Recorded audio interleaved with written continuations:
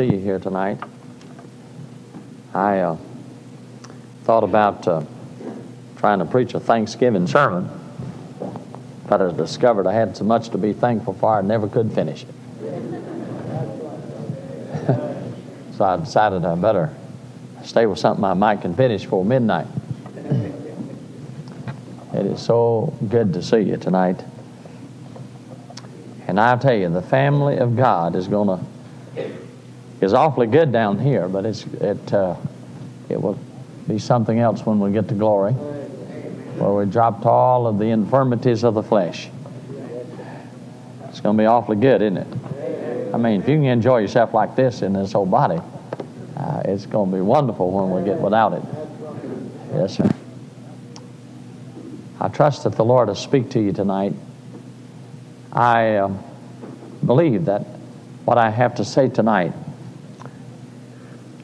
is probably what I would tell a young man if he'd come to me and just simply say, uh, What's the most important thing you can say to me that will be so basic that I will use it every day of my life and the rest of my life? I just, what's the most basic issue that you can say? You know, the thing that will make the most difference to me in my life. I believe I would share with that person what I'm going to share with you tonight. Now, I want to start out with a passage out of the 19th chapter of the book of John.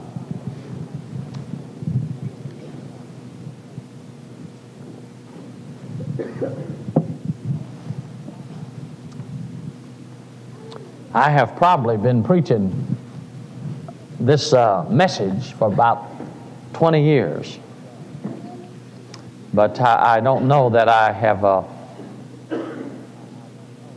ever preached what I'll say tonight in, in detail. But some places you'll recognize that uh, you've been around me much, that you've been there before. And then some places you'll realize that the Lord is just keep has kept enlarging and enlarging on what He's been saying.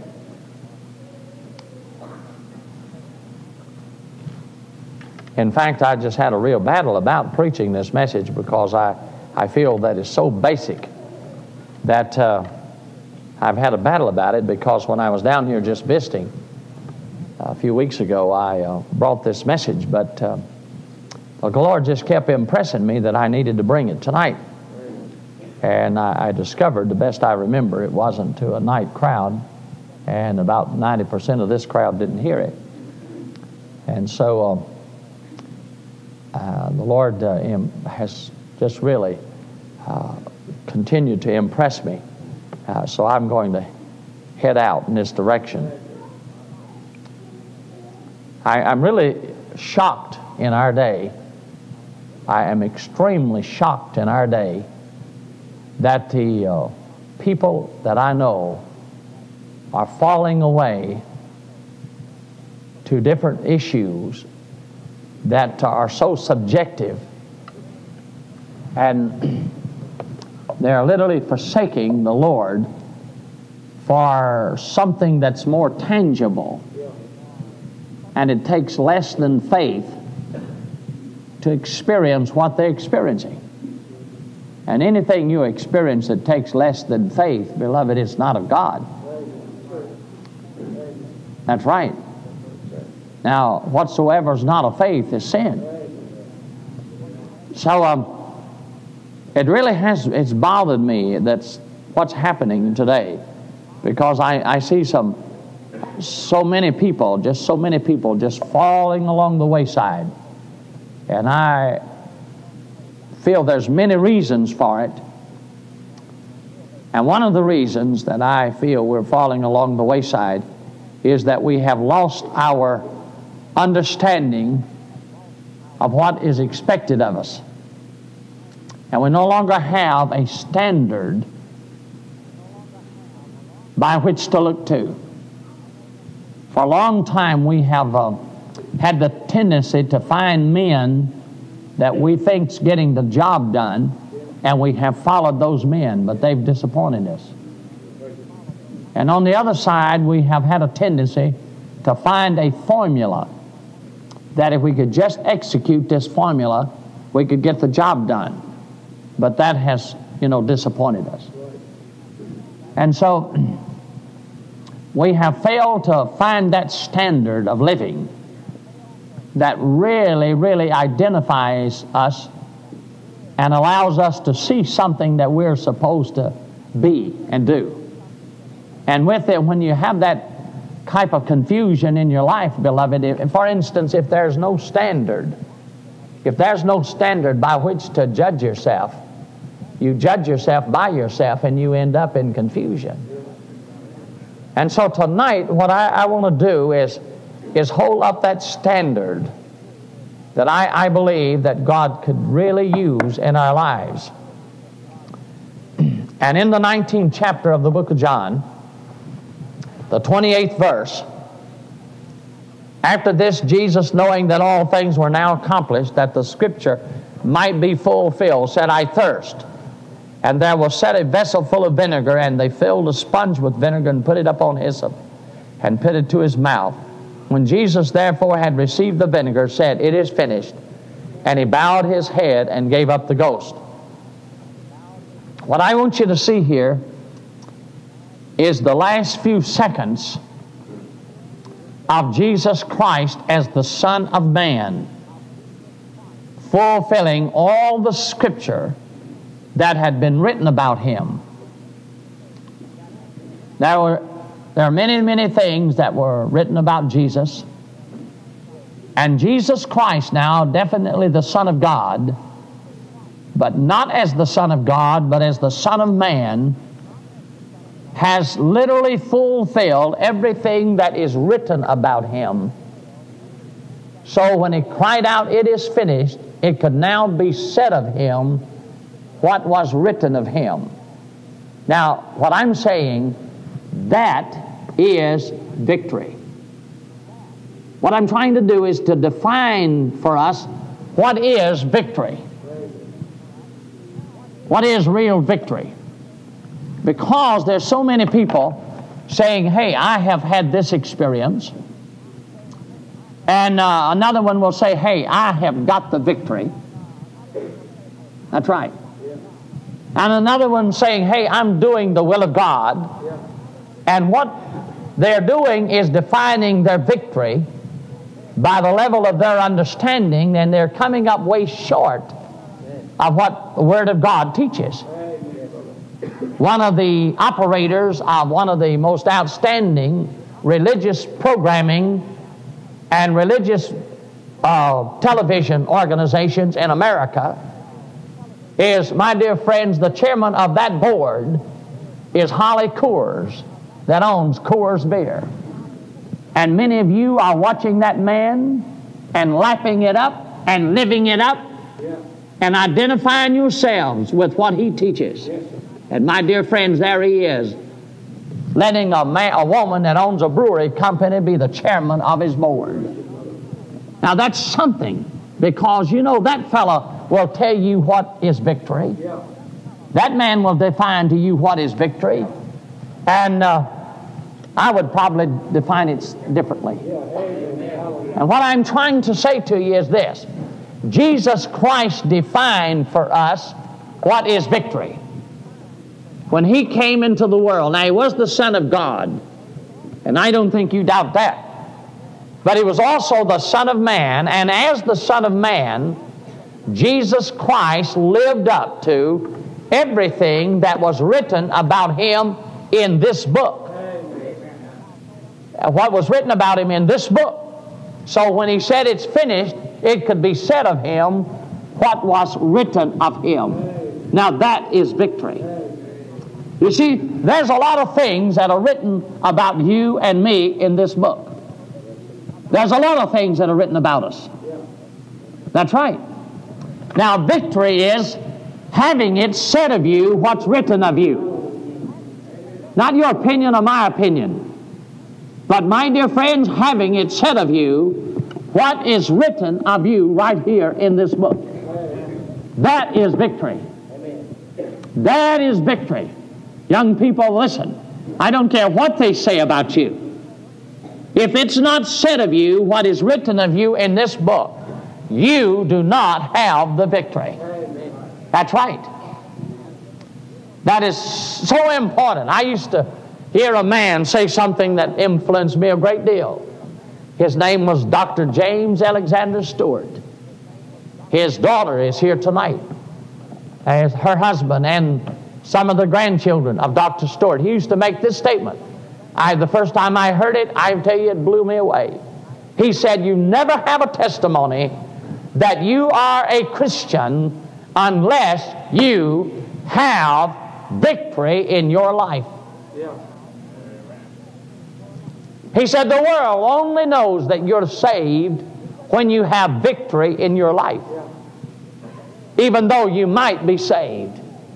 He said, The world only knows that when you're saved, when you have victory in your life. Now, what I'm saying tonight, that victory is having it said of you in your life what is written in this book. That's not what people think about you. Hey, by the way, it's not even how you feel. I, I get so disturbed that people said, Hey, I got peace in my heart. Let me tell you something. If that peace contradicts this book, your peace is not God. That's right, if it contradicts this book. So, having it said of you, what is written of you in this book, my dear friends, is the issue. That's victory to me. That is genuine victory. Now, I'm not going to say all there is about that's what's written about us in this book, but I do want to just mention a couple of things. One of the things that's written about us in this book is that we're a saint. The Bible says that we're saints. You didn't, uh, you'll not be dead a 400 years and someone looks back upon your works and then name you a saint. The moment you got saved by the grace of God, washed in the blood of the Lamb, you became a saint. And all of you boys and girls here tonight, you, by, the Bible says you're a saint. But the issue tonight is this Is it said of you what is written of you in your schoolhouse? Not up here, church. Anyone can come to the church for three to five hours a week and people call you a saint. You can be full of the devil and act like a Christian that long. Amen. You can fool everybody, my dear friends, that long.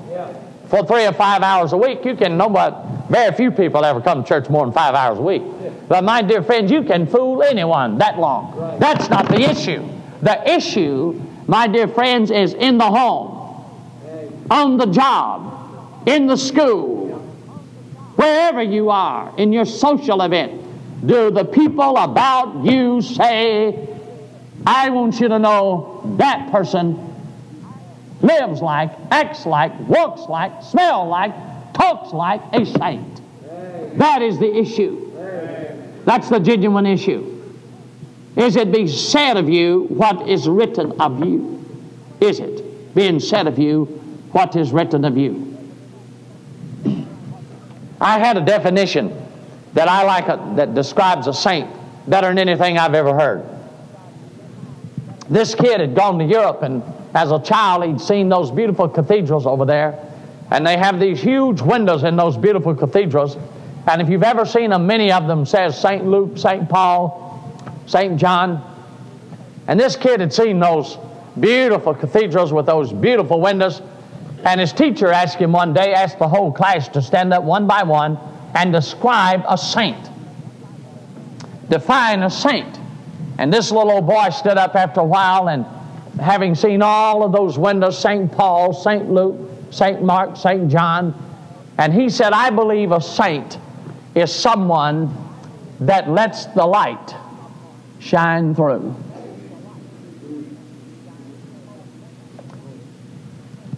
Now, folk, is it being said of you what is written of you. I don't care what you do here. Very likely you're not going to act like the devil very much. But I'm going to tell you something. You're not preaching many sermons here. That's too many of you. But you are preaching a sermon in your home. And you are preaching a sermon in school and on the job. And every day you're preaching a sermon. And very likely The measure of your Christianity is determined by how you act when you're the worst shape, not when you're at the best shape. That does not tell necessarily the real you. The real person, my dear friends, comes through when everything is down and everything is against you. That's right. How do you act then? Is it being said of you what is written of you? She or he is a saint. Yes, sir. Other people say, well, I'll tell you, I don't want anything to do with that person because they profess to know the Lord, but do not live like one. Now, there's some other things that are written, that is written about us. Another one is the Bible says that we're a priest, and I love this. And I may have heard this this week. I don't know. I, I maybe I did. I, if you if I heard it, most of you heard it. But for a long time, I've always felt that a priest, and this is so simplistic, you, we may miss it. It's not profound enough. It's not mystical enough. You know the day, we're just like the Jews when uh, Jesus came. If Jesus Christ had walked in out of the sky, they would have accepted him. If he had walked in out of the sky as a grown man. But in that he was supernaturally, naturally born, they couldn't handle it. And my dear friends, we're running around today looking for some supernatural manifestation that God Almighty can walk through a place and we not even know it. Yes, sir. And this may be a little too simplistic, but let me tell you, the Bible teaches that a priest is a go between. And a priest means that someone that knows how to reach hold of God who has the supply and man who has the need. And my dear friends, bring that supply and that need together. And I want you to know something. We have such a casual way of saying, hey, pray for me. That's just a byword with us today. But let me tell you, I don't know of anything in this world that could be more significant and there's a greater compliment in all the world than someone saying, Listen, please pray for me. Because it should mean, my dear friends, that you know how to reach up and get hold of God that has the supply and reach hold and get hold of the need with the other hand and bring those two together. That should be the case. I don't know of anything more significant than having it said, my dear friends, you know how to get hold of God and man and bring them together. Yes, sir. Is it said of you that you're a priest? That's right. I, I tell you, it, it really it, it does something to me to be waking up at four or five in the morning or the middle of the night and have somebody to say, Brother Manley, please pray for me. You know why? Because, my dear friends, they, they understand and they feel in their heart and they think in their mind that I know how to get hold of God with one hand and, my dear friends, with their need with the other. And bring those two together. Father, what a compliment. Is it being said of you what is written of you? Is it being said of you what's written of you? Then there's another issue, and that is this. The Bible says that we're kings. Now, king rules and reigns. And that's so interesting to me because I'm one of the kings. And if you've been saved by the grace of God, you are too. And my, if you're one of the kings, that means that you have a dominion by which you rule and you reign. And the Bible says when the wicked rule, people mourn. But when the righteous rule, people rejoice.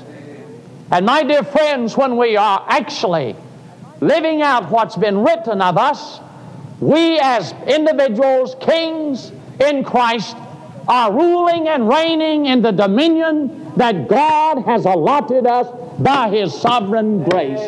And my dear friends, we're in control of that home and we're in control of that situation.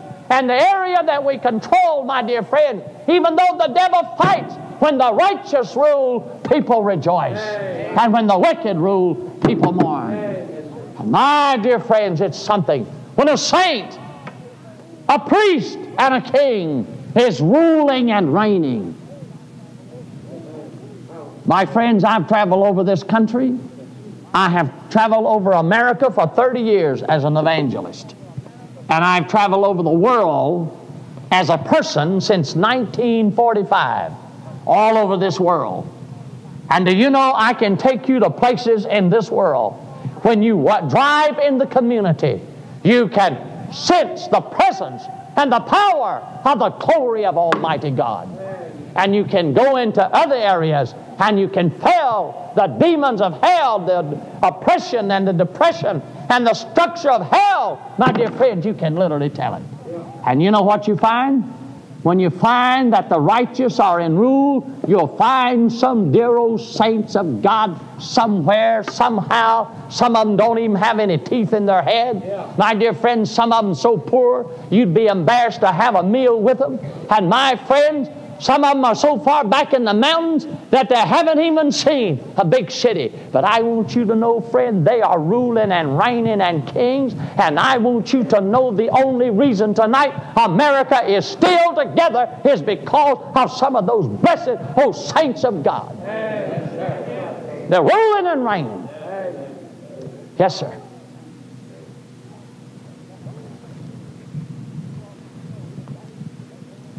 You, want, you know, these Baptists today, they want to live like kings. But bless God, they don't want to live. They, they don't want to take the responsibility of a king and pay the price. There's a price, brother, to pay to live and be one. But the tragedy of it is, is it said of you what's written of you. The heartache is, my dear friends, we can't even rule and reign over our own homes.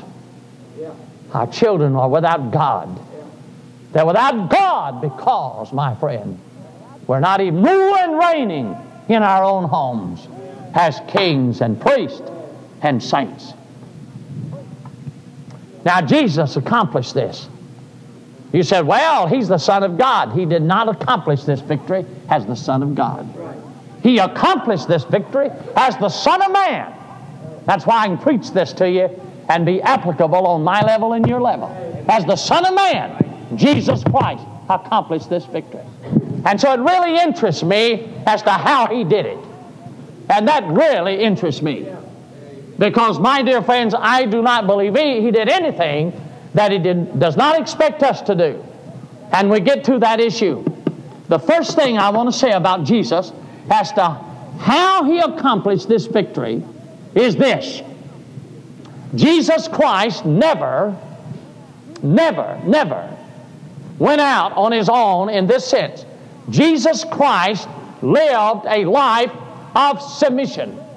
He said, My meat is to do the will of the Father. That's what he said. In other words, my dear friends, he was yielded to the Father in such a way that he did not do anything that wasn't the will of the Father. And he got strength and life and power in the life of the Father. And I want to tell you tonight, a lot of the reasons for these heart attacks and nervous breakdowns and physical breakdowns and disaster is the Christian out there trying to do his best for God, and he's totally missing God into things he's not even supposed to be in. Jesus, you see, when he did the will of the Father, he got strength. He didn't lose it. Yes, sir. He got it.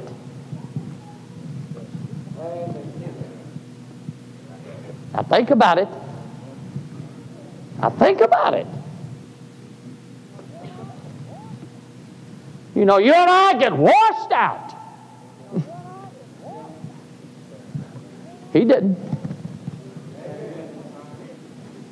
Now, he took aside some time to talk.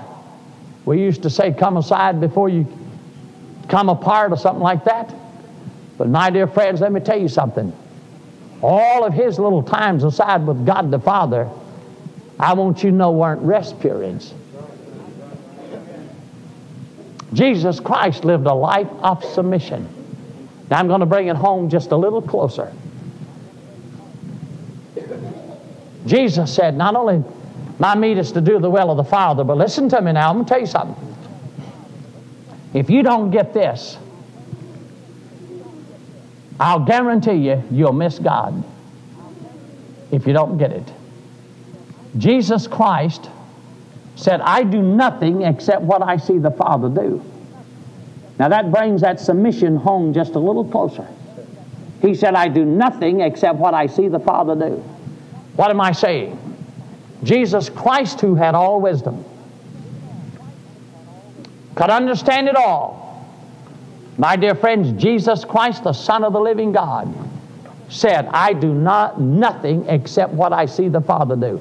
Jesus Christ, the Son of the living God, never initiated not one of his involvements.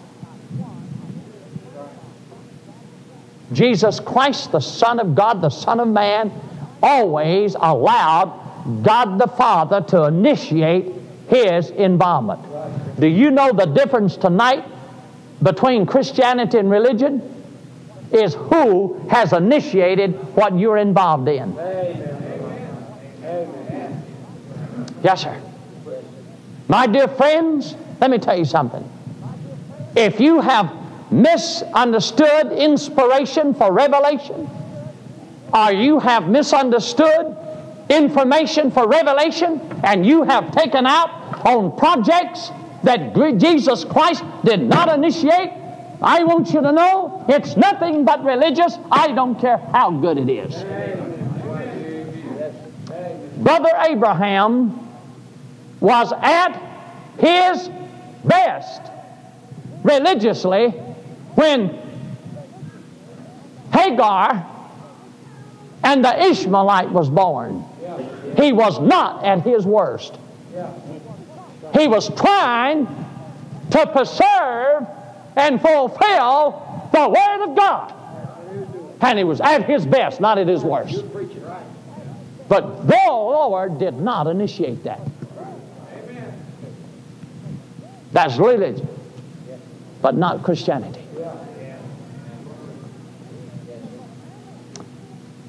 You said, Brother Manley, I'm doing it because I love God.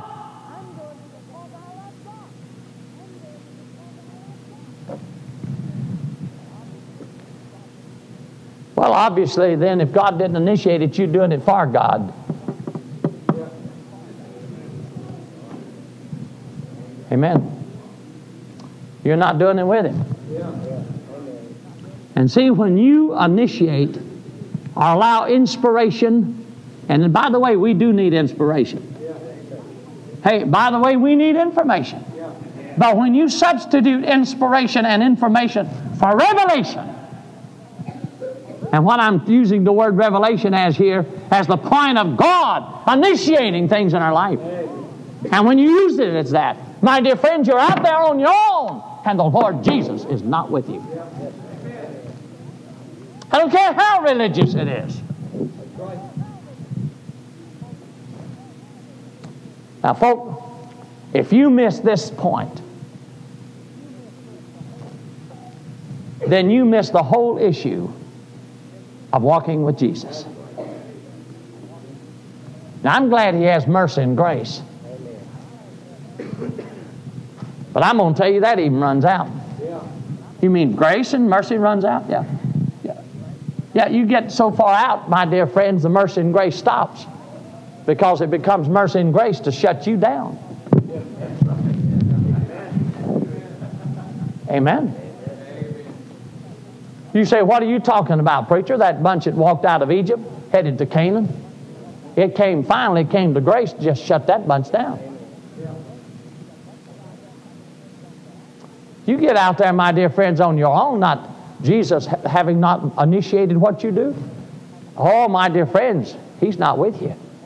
And if you've got to pump it up, and if you've got to keep it up, and you've got to work it up, and you've got to maintain it, I got news for you. You got a job.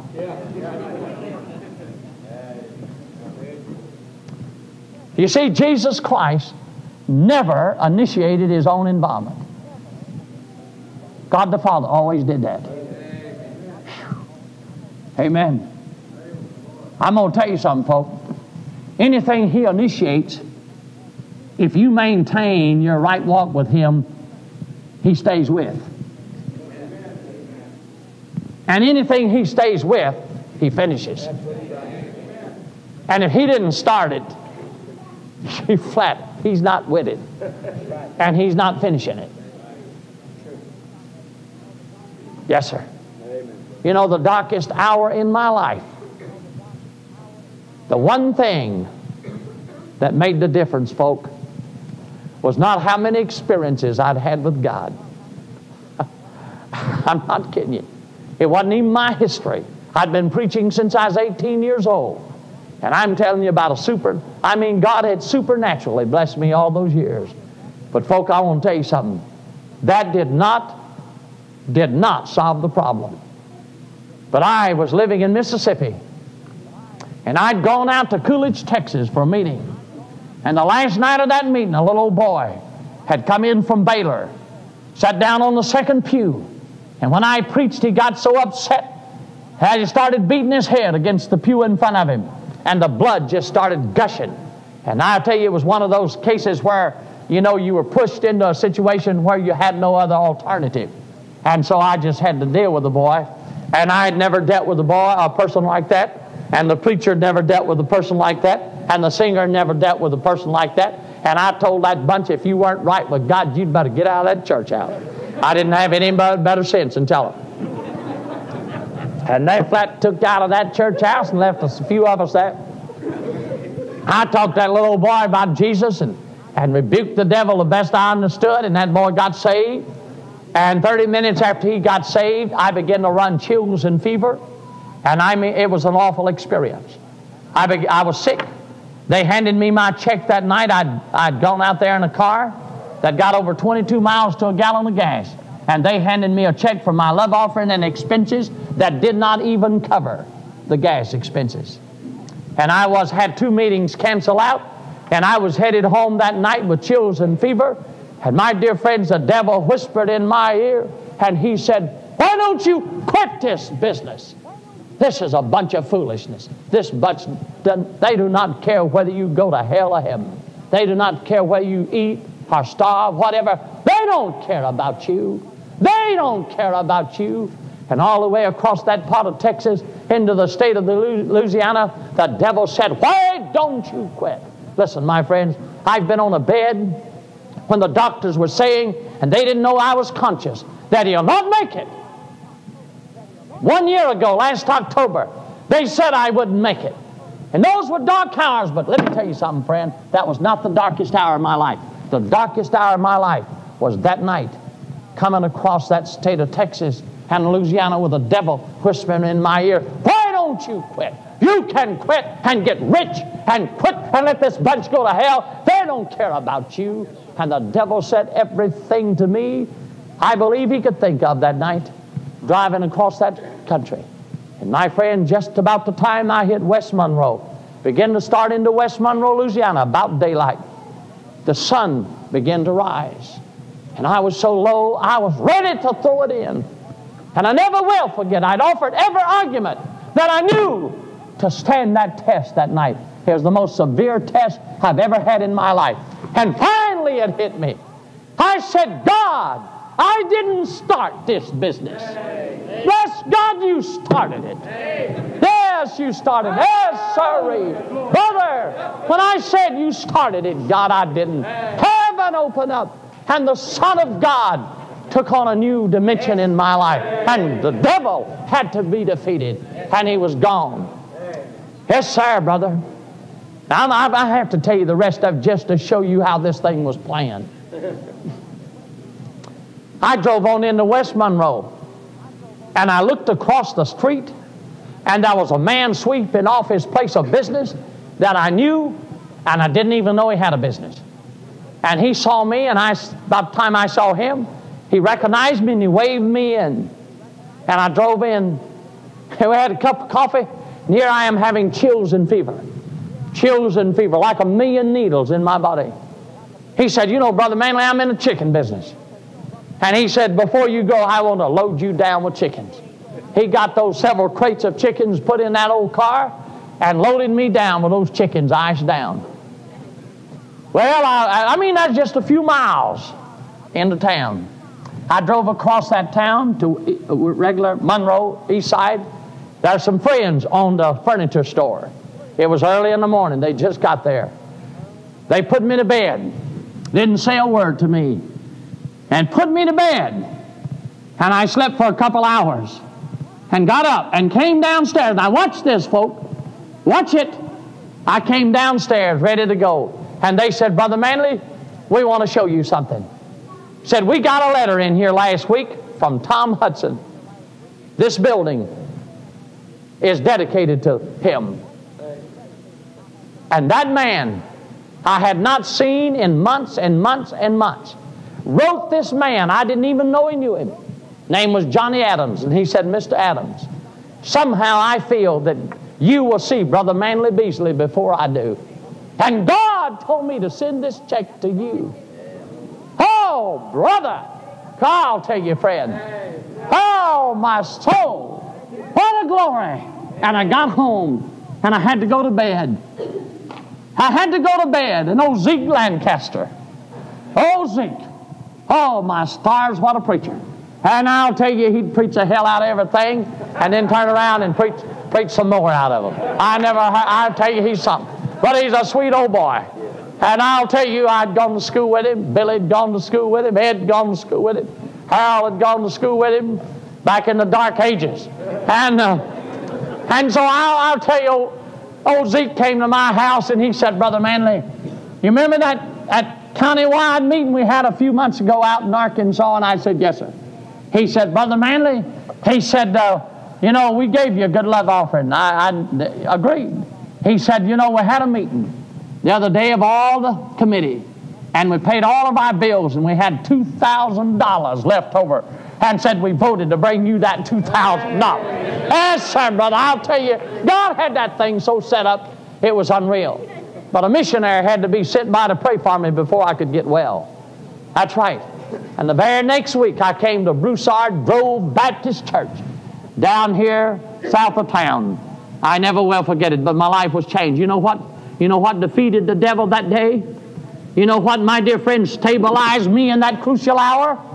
You know what, my dear friends, enabled me to go on and enter into the blessings of the Lord was the one fact that I did not call myself to preach. I didn't have anything to do with it. God initiated, God started it. He moved, and I just simply obeyed. Yes, sir, folks. And if you don't get that part, I'll guarantee you, your life will be full of religion, but not Christianity. Because Jesus only stands by what He initiates. Yes, sir. Brother, if you don't learn how to settle that issue, I got news for you. You're, you're done for. You kids that haven't got husbands and wives yet, I want you to know something. A lot of beautiful people and there's a lot of pretty girls and good looking boys. But I want you to know something. You better stay with God till God says, that's the one. But I don't care who you are. I don't care who you are. You don't know enough. And you haven't got enough on the ball to keep a home together and rear children. You just flat haven't got to do it. You don't have it. And I'll tell you, you'll go under if you do not know Jesus has initiated it. But if you know He's initiated it, you can come back to Him and said, okay, God, you started it. Now straighten her out. You started it. Straighten him out. you started it. You can laugh if you want to, bless God, but I'll tell you one thing. He says you get renewed. You get transformed by the renewing of your mind, reminding God He started it. If you don't think that's the case, you just look at old brother Moses at the Red Sea. He stood up and preached one of the greatest sermons on faith that's ever been preached. He said, Stand still. With that bunch of Egyptians behind him and the Red Sea in front of him. Brother, if that's not faith, let me put you out there in the street and you see a Mack truck coming down one way and one coming down the other way and say, Hey, brother, stand still. You talking about a sermon, brother? He had it. See the salvation of the Lord. Stand still. I'll tell you one thing. He preached that sermon, and then when he got through with that sermon, he said, Oh God, I'm in trouble. He got shook. Some man said he was over behind a rock. I don't know if he's behind a rock or not, but I'll tell you one thing he was in trouble. And you know what God did? God said, Hey, why callest thou on me? And I, I'll be honest with you. You know what I believe God reminded him of? The fact that God started that thing.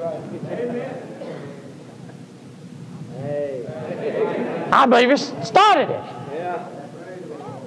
And anything he starts, he commits himself to. And I think when God gave him a little glimpse of that, he was ready for the commandment. The Lord said, Take that rod and head out. Amen. Folks, let me tell you something tonight. After all of these years, after all of these years, the thing, the people that I see that miss God are the people that walk on with God. The difference is they've learned how God initiates things. Amen.